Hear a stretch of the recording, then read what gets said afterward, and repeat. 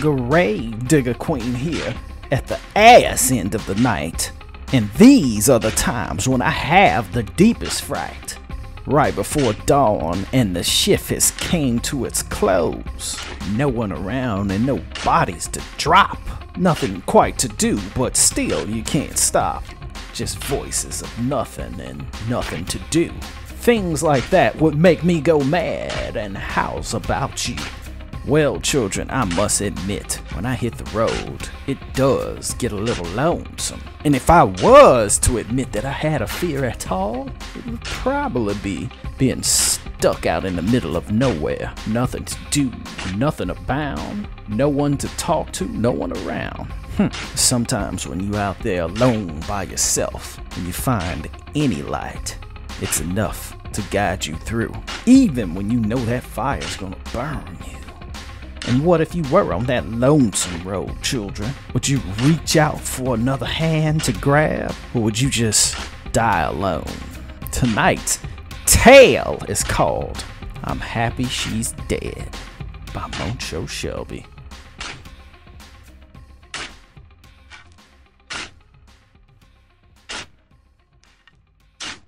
The light had long since fled, and there lay nothing ahead of Ulysses but miles stacked upon endless darkness and open road. Ever so often, a spot of light may wander in the dark. He'd push over to the side of the road as far as he could go and stick out his lone, solitary thumb. He didn't bother to look back. He adopted the mindset of a fisherman setting out a hook. He didn't care who bit, and wasn't confident that any would. He felt as if he had been walking forever in a land that never saw the light of day. The only signs of life were the constant symphony of crickets and the soft rev of passing vehicles. Light slowed and a car eased itself up the road. Ulysses got the message and sprinted towards his respite with urgency, not daring to keep his potential ride waiting. He sidled up to the passenger side. He heard the mechanized sounds of the windows rolling down before he approached. Though darkness cloaked most of the contours of the craft, he made it out to be a Nissan Sentra, either black or dark blue. He lowered his head to the driver's eye line. This was the first hurdle of hitchhiking, deciding at a glance someone's intentions. Could they be trusted to get you a few miles up the road, or were they predators posing as people? Ulysses quickly took the man in and read him. He was average in every way, someone your eye would instinctively roll over as part of the scenery, and to Ulysses there was something sad about that. Ulysses was in his twenties and in good shape. Though he held his face in a look of caution, there were still glimmers of youthful insolence that the road couldn't beat out of him. Where you going? said the driver with a slight southern accent. Up to the next town for starters. Ulysses said back confidently. He heard the door locks pop, music to his weary feet. He toggled the door handle and placed his overstuffed backpack in between his knees. As soon as the door shut, the car started. The two were enveloped in the darkness, with only the twinkle of wayward reflectors to note their passing. So, what's your name, friend? said the driver. I'm Ulysses. Ulysses? A traveler, huh? Yeah, I guess when you have a name like that, you sorta have to be. Yeah, but why the road, Ulysses? Ulysses noticed that he didn't immediately mention his name after he identified himself, which wasn't necessarily a good or bad thing, though sometimes people did that because they hadn't decided if they were going to tell you their real name and needed a moment to think one up. I sorta had a shit home life, and I figured I'd rather see the road than just live there. The quiet of the highway bled into their conversation. I see, said the driver, as if they shared in a bit of mutual home life drama. Why'd you pick me up? asked Ulysses, more to fill the silence than he cared what the answer may be. I wasn't sure, to be honest. It's dark. There's an open highway, nobody watching us but God. I suppose that in the end, I'd rather believe that I'd take in a decent human being than just some drifter. The driver side eyed Ulysses, wanting to know where he landed on the spectrum. I get the fear side of things. I think the same thing when I get in a car. I'm rolling the dice every time I do it myself. That's not really my question, though. What got you over the fear? The driver took a moment to think, letting the all encompassing silence seep into their thoughts. If it's that dangerous, why do you do it? said the driver. I guess I'm like you. Everybody can't be the worst, right? We can hope. The driver smiled. I'm gonna turn on the radio. Is there any type of music you like? I like hip hop from the 90s and metal. The driver smiled, but only to mask his disinterest. Rap, huh? They never found a swear word they didn't like. Ulysses thought to defend his music, but he didn't.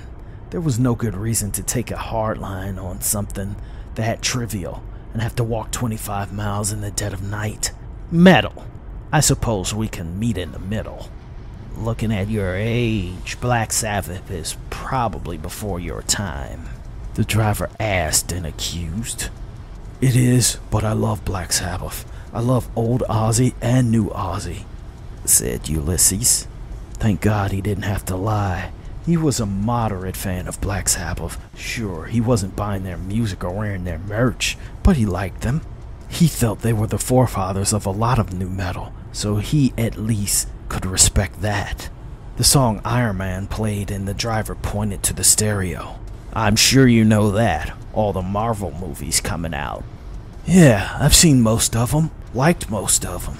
I don't know what it is, but these new Marvel movies, they don't hit me the same as the old ones. I guess there is only so many times you can take the same formula and make the same thing before people grow a tolerance to it. Like drugs. I guess, the driver added. What's her name? Um, Scarlett Johansson. What do you think of her? Hot. Really hot. Smoking.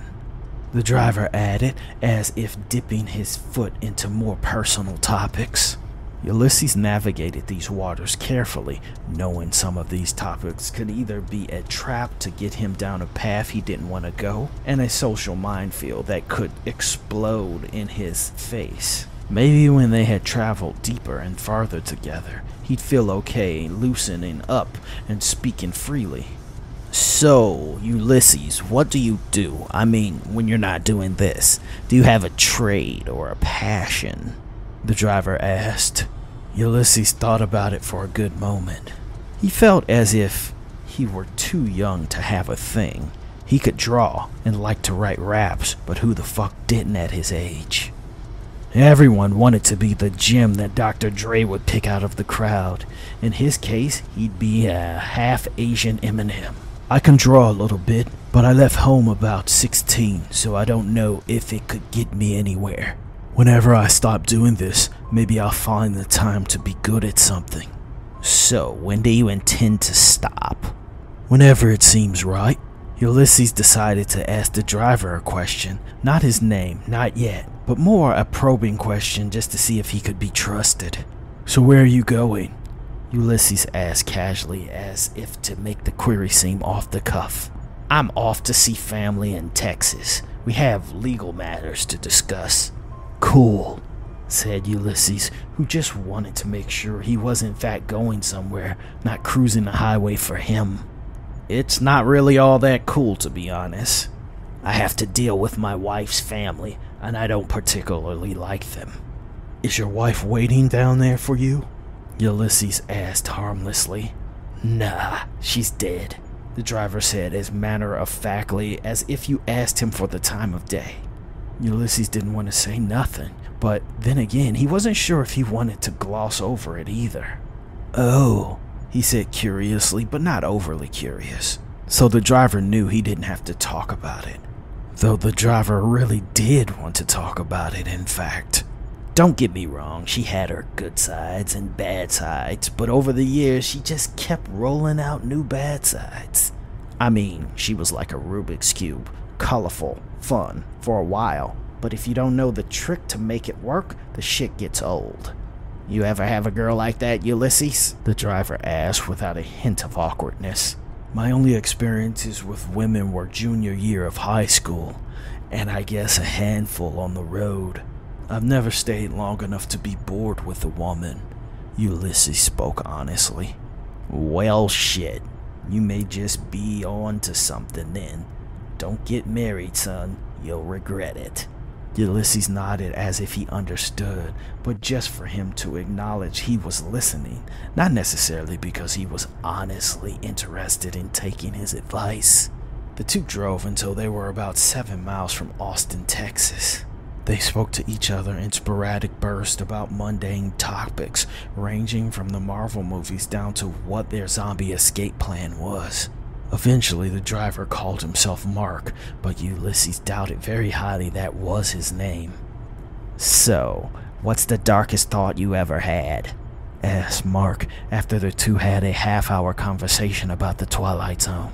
Ulysses was a bit more comfortable in speaking with the stranger by now after an hour on the road, and he was rested enough that he felt he could walk seven miles easily. Darkest thought. I guess I thought about pushing someone down a mine shaft. The driver, Mark, raised an eyebrow. That's it, huh? Give me some details, some context. Well, when I was younger, we used to play out on this creek. Me, my two friends, Bernard and Randy. We weren't the biggest kids or the meanest, which of course opened us up to bullies. We were playing in the woods and we found this old mine shaft. Two older boys followed us. They were bullies, of course, but they just smacked us around a bit, nothing too sinister. This day, Ulysses stopped as if he was having trouble moving forward. Go ahead, it's just you and me, Mark assured him. Well, this particular time, and I have no clue why, they beat us up a little, nothing that would cause permanent damage, but enough to show they were in charge. So this time, Yasmin, the bully, tells us to take off our clothes. They never did this before. Bernard was so scared he just started doing it. Then they threw his clothes down the deep mine shaft, so deep you couldn't see the bottom. Me and Randy started to do the same. We got to our shirts. Yasmin's buddy Clifford, I don't know, felt some sort of way and pulled his dick out. He told Bernard to suck it. Even his buddy Yasmin was taken aback, but he backed him up. So he tried to force Bernard on his knees. Me and Randy wasn't having that shit. I mean, an ass whooping here and there, okay, but this shit, fuck that. They were going to have to beat me to death to get me to do that against my will.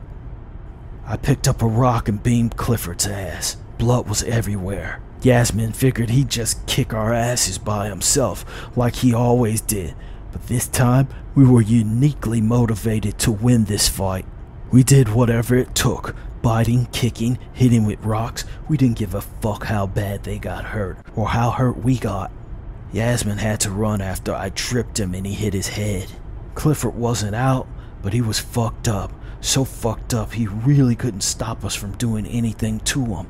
Bernard wanted to toss him down the shaft. I was okay with it mostly, but Randy talked us out of it. Ulysses said, as if that were the end. Then what? Mark asked. Then nothing. They didn't fuck with us anymore, and we never spoke about it. What if he managed to mouthfuck your friend? Do you think you would have done it then? Ulysses thought about it, first to discern what Mark was feeling about this. He was liking this too much. Then to figure what might have happened if he did manage to mouth rape his friend. Mark was so earnest and even about what he said that Ulysses didn't read any further into it. I give it 70 30 odds that we would have done it if Clifford actually did it, said Ulysses. What about you? Ulysses shot back, not because he particularly wanted to know, but he was getting the impression that the stranger really wanted to talk about it, which is why he broached the subject at all seven miles until civilization, so he knew the ride was going to be over in 30 minutes or less, and they'd more than likely never see each other again. When I was younger, I used to dream of trapping people I didn't like in a building and burning them alive. Ulysses nodded calmly, but inwardly he was quite ready to leave. I never did it, but I always thought about it, said Mark. What made you think that? Ulysses asked, curious if he had a story or an antidote that might offer a bridge for that logic. Mark shrugged with his right shoulder. Don't know. It's always in the back of my mind, though. Ulysses began to see the silhouette of buildings on the horizon of a slowly dawning sun. If push came to shove, he could roll out of the car and make a break for it if they were going in a bad direction. So that was the worst thing you thought to do. What was the worst thing you actually did? Questioned Mark. Ulysses was truly wondering if he should just make something up. But then again, he doubted they'd ever see each other again. So fuck it. Maybe he could use this the same way as Mark did. Ulysses had three things he regretted doing in his life. He could spare one of them for a stranger. In high school, I fucked my best friend's sister, said Ulysses. He never found out about it, or at least I didn't think he did. Why'd you do it? I was young, er, and I just felt the urge. I was 17. I would have fucked a warmed up pie if I could. Okay, that's good. But that's the darkest thing you ever did? said Mark, as if he wasn't impressed. This time, Ulysses didn't ask Mark to elaborate on his transgression because he didn't want to hear something that he may have to swear to in court. But he got the feeling Mark was going to tell him. He got the impression much of this conversation leading up to this was setting him up to talk to him about his own darkness. I've done wrong here and there, hurt people I felt didn't deserve it, but I think the worst thing I ever did was kill my wife. Ulysses couldn't say that he was surprised at that, seeing how indifferent he was after explaining she was dead. But he didn't tip his hand it was crucial that he didn't show any judgment, even though he was judging right now. I mean, I killed her, and not only am I showing no remorse, I'm happy she's dead. The cab of the car couldn't have been more quiet. Ulysses even breathed softer as not to add fire to a situation that was already an inferno. Nobody knows I did it. It looked like it was an accident said Mark, smiling. The driver's smile felt darker. Maybe if they did ever find out, I can plead self defense, because that bitch was killing me. I couldn't breathe. Ulysses dared to speak. And now you can. Yes, and now I can. Mark added with glee. I switched her pill so that she'd OD. But I did much worse because I'd be damned if she was getting out of here in a beautiful high or some shit. Not after she killed my soul, lessening me as a man. I choked her a little, then jammed a coat hanger down her throat. If anyone wondered what happened, I could easily say she attempted to induce vomiting. It was the happiest day of my life. Ulysses squirmed, like it was his turn to speak in a stage play, but he couldn't find the lines. As far as he was concerned, Mark was a complete psychopath, but a psychopath he was trapped with. Thank you for trusting me with this, Ulysses said, as if he had been bestowed a great honor over what he was thinking to say, which was, You were a sick fuck. I knew I could, Mark said, as if saying what he did out loud somehow unburdened him. The car was still on the expressway, but now they had reached the city. They were driving approximately 75 miles per hour, so if Ulysses jumped out of the car here, there was little chance he'd survive it. Though, by the same note, if he could hold out for a little while longer, he'd have to stop. There was always a reason to stop within the city limits. Ulysses had to engage in conversation. He didn't know if he should address what Mark told him or if it'd be better to change the subject completely. Anything he chose to do in this instance felt dire. She was killing you, though, right? said Ulysses, figuring he'd seem insincere if he acted like it didn't happen.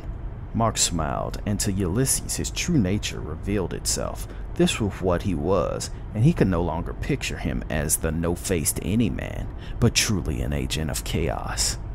Yeah, she was demeaning. Nothing was good enough for her. She was a shrew. Anytime she spoke, she drained a day off my life. I used to be a vigorous, healthy young man, but three years with her, and I look like I'm in my fifties.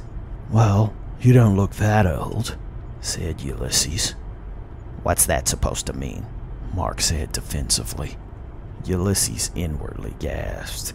Saying that he wasn't drained by this supposed she harpy would mean that he couldn't see the reason for why he did it to begin with, which meant he thought he did it just to do it.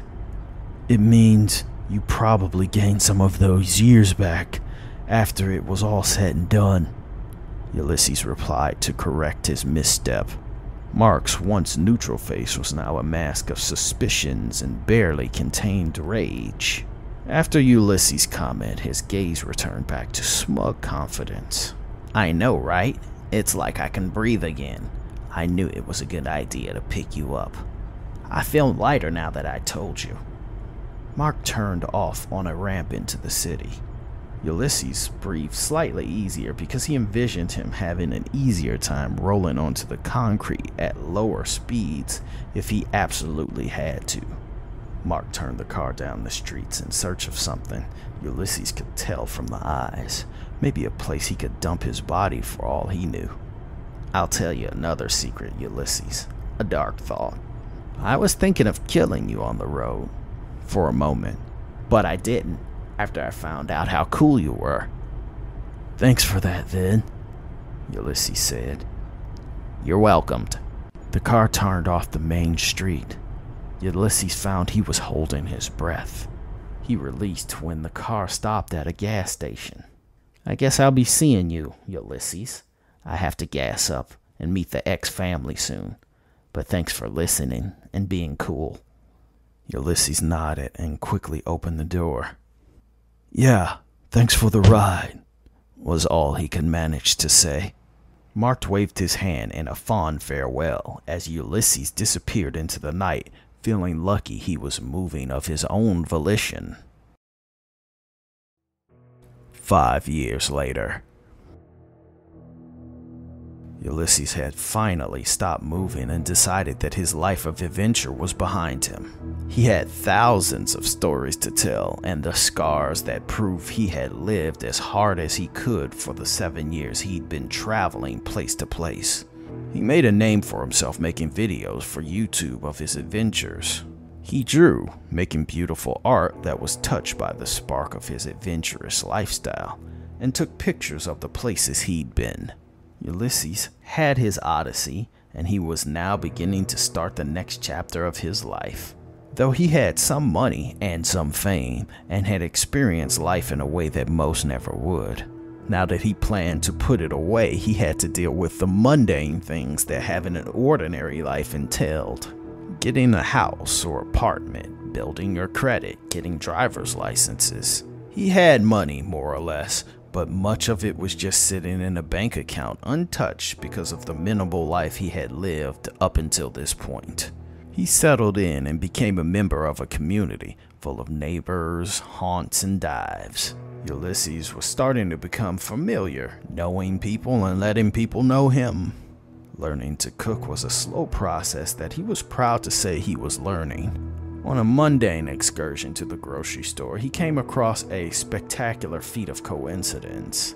He was getting checked out and he needed to buy brandy to marinate his chicken in, but the cashier wasn't 21 years old. In these cases, an older person was needed to come down and make the swipe. It wasn't anything to it.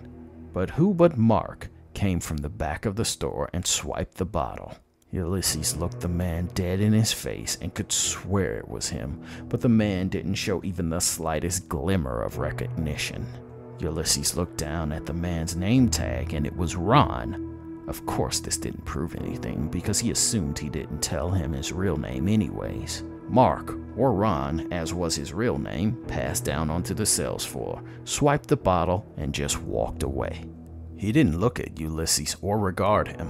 Ulysses smiled and figured it must have been a coincidence, so he didn't say anything or tip his hand bringing up anything that didn't need be brought up. He didn't give it another thought and just decided it best to continue living his life.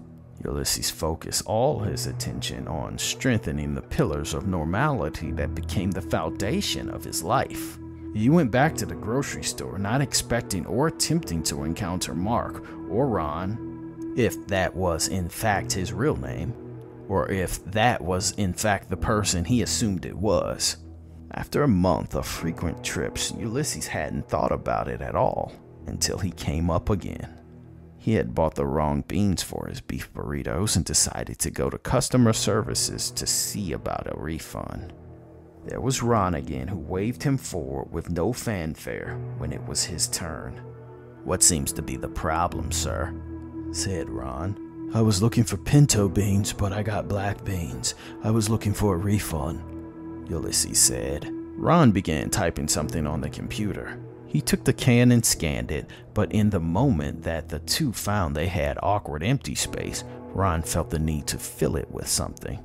The wife got you running errands, he said offhandedly. I'm not married, said Ulysses. Can't live with him, can't kill him, Ron said with a slight chuckle to himself, as if it were his own little inside joke. Ulysses smiled, but it was something in his voice that chilled him, rekindling his suspicion. When he didn't laugh, Ron looked at the card he paid with more closely. Ulysses, a traveler, Ron stopped himself short, as if a distant thought were clearing itself up and coming in from the fog of his memory. His eyes slowly flared with recognition. They locked eyes, both knowing, both letting it go unsaid. The two familiar strangers parted without another word.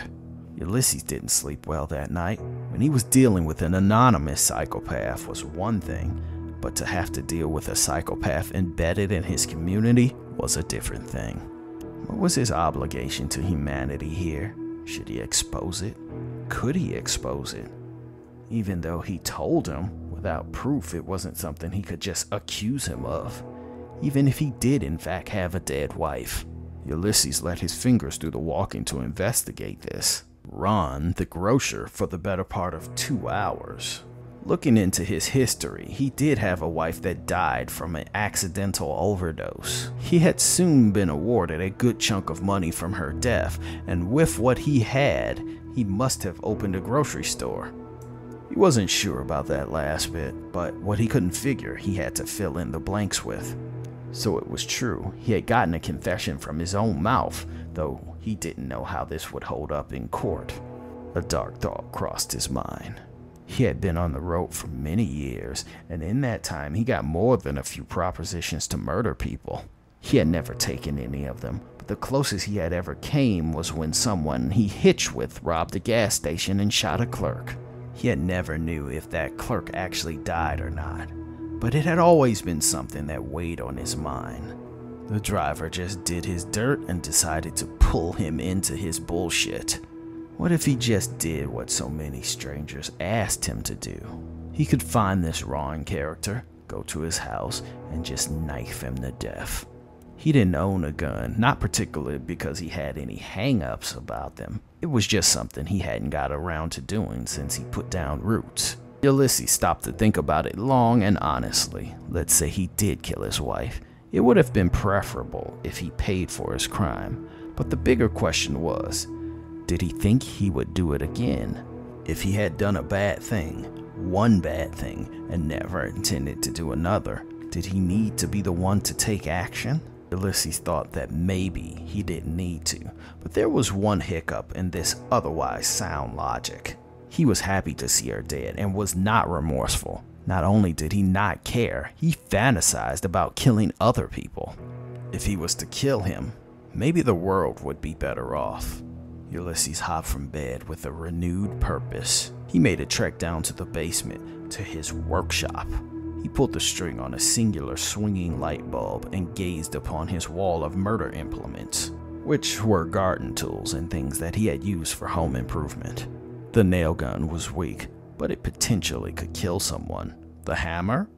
Hmm, he wasn't sure about the hammer.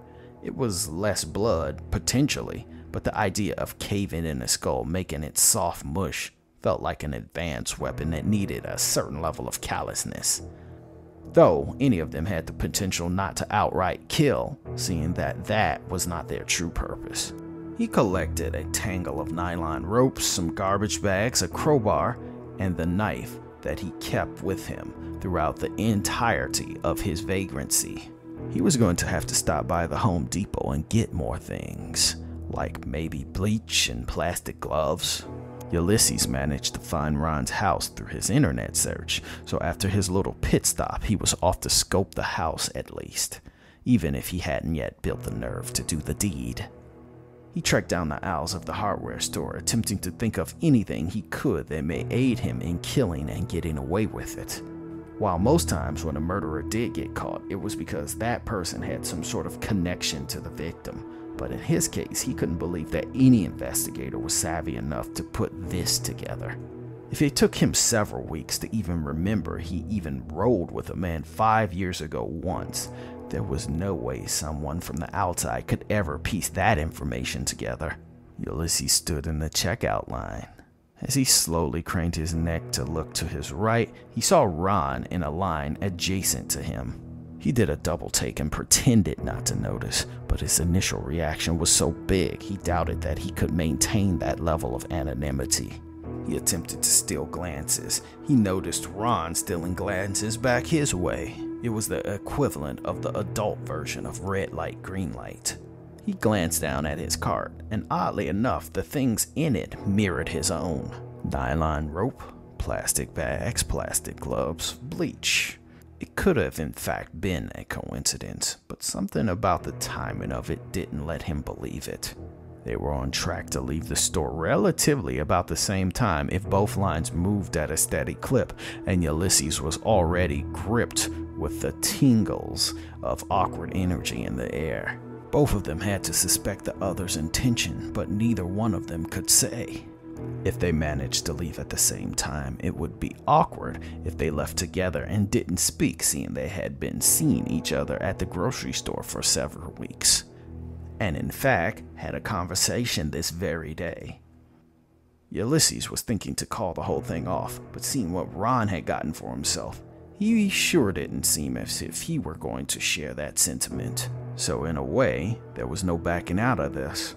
Whatever was going to happen was going to happen soon, whether he was on top of it or let it happen. The two men tried very hard to stall asking the cashier questions, but that only assured that both of them would expend the same amount of time. Ulysses put his bags in the cart and decided to try to speed up, perhaps beating Ron to the door so they would never make eye contact. But as he got to the door, a security guard that was tasked with checking receipts had to stop and look through an old woman's bags. He didn't know what he found. Maybe it was something she forgot to scan. It didn't matter. All that actually mattered was that Ron, despite moving as slow as humanly possible, had no excuse not to push his cart up behind Ulysses. He felt the eyes of a killer boring down on his neck as if burning a hole into it. The two men awkwardly pushed their carts in the desolate parking lot. They both tried to wheel slower than the other, hoping to get the safer view from behind. Ulysses pretended to tie his shoes so that Ron would pass him and he could gain the advantage, but Ron slowly put his cart up, even before he made it to his car to slow himself down and keep the upper hand. When Ulysses stood up, he was startled by the angry baying of a car horn. He realized that he was in the middle of the road. Ron and Ulysses both had to address the sharp, ear piercing shriek of the horn. The two men locked eyes. At this moment, they were either going to acknowledge each other or they weren't. The pause lasted upwards of five seconds, which was an eternity for a chance encounter with strangers. The two men held their neutral expressions in a game of emotional chicken. Ulysses smiled slowly, as if he were coming to the realization that he noticed Ron. Oh, hey, you're from the grocery store. Ulysses said with a voice that was overly enthusiastic for greeting a stranger he barely knew. Yeah, yeah, black beans, said Ron. We just missed the store closing, said Ulysses, who grabbed at absolutely anything to say. Yeah, seems like, Ron shot back. What brings you out? Ron chuckled a bit, as if this dance of civility was a bit funny to him. but he widened his smile and played along. Same as you, looks like, he said, glancing into Ulysses' cart. Yeah, yeah, I guess so. So, what are you working on? Oh, just have a painting project I need to get done. Ulysses shook his head and internally kicked himself for not thinking of that himself. Yeah, me too. I'm sorta new to the area, so you know. Oh, really? How long have you been here? Three months or so. What brought you? Ron asked quickly to see if he'd give an off the cuff reaction. My art career took off, and it seemed like a nice, quiet place. Art, you say? Ron parroted, as if it were further confirmation of Ulysses' identity. Yeah. You? I don't know, about five years or so.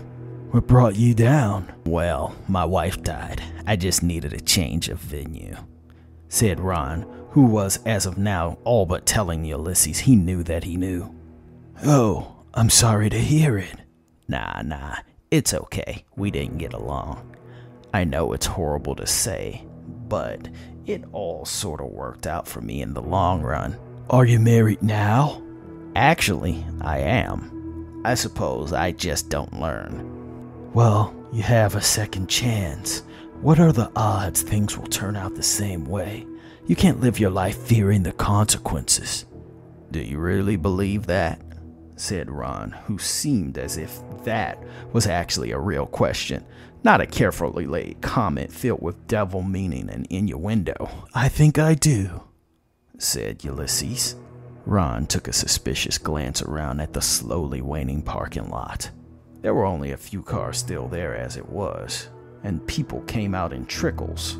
Ron extended his hand to shake. I'm Ron. Ulysses looked at Ron's hand as if it were poison, but the idea of being rude outweighed his caution. The ex drifter moved in closer and reached for Ron's hand. As soon as he did, Ron grabbed Ulysses quickly with one hand and pulled him in extremely close and extremely fast, sinking in his gut a hidden blade. Hit him with a serpent strike that was just concealed enough that maybe someone watching a camera may not notice. And if he were lucky, he'd die driving himself to the hospital and crash, perhaps covering the attack completely. Ron took what Ulysses said to heart. You couldn't live your life in constant fear of consequence. Ulysses slumped down and fell over. He was too weak to instantly fight back and he struggled to stay on his feet. He took awkward, unsure steps, not knowing which one would be his last. He watched Ron walk casually to his car as if nothing happened. He wasn't exactly sure what his end goal was, but he was not concerned with his motivations and methods when more of his blood was on the ground than in his body. He reached for his car door with red stained hands and realized in this moment he could no longer stay here. Try as he may, try as he might, something like this always found him. He looked to Ron, who was watching him in his white Dodge Caravan. It reminded him of a predator in the wild that hamstrung you, then watched you bleed out, so there would be no need for a fight. Ulysses got into his car and turned the key with blood slicked hands. He threw the vehicle into reverse and peeled out. He slammed into Ron's minivan and then stepped out of his Ford Escape. He walked with an amazing amount of calm. Ron, however, rolled out of the driver's seat and onto the concrete. I wanted to make this work, said Ulysses, whose voice became deeper and demonic. With each approaching step, his body began to reshape, becoming bigger, becoming something that was far from human.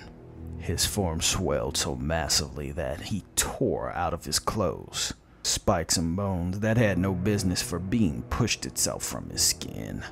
When Ulysses stood over Ron, he was huge and hulking. Steam oozed from his body. You destroyed your immortal life, and that's all I ever wanted, said Ulysses in a bass filled voice that boomed. Ulysses hit Ron, who cowered in his shadow, once and only once. When the blow fell, Ron's neck cracked and the back of his head slammed unnaturally into his shoulder blade. The man slumped over like a broken doll. I wanted to live. This time, I wanted to live. Ulysses yelled up into the vastness of the sky as if lamenting to an unseen entity. With one massive leap, he bounded into the heavens, and reptilian wings sprouted from his back, guiding his ascent.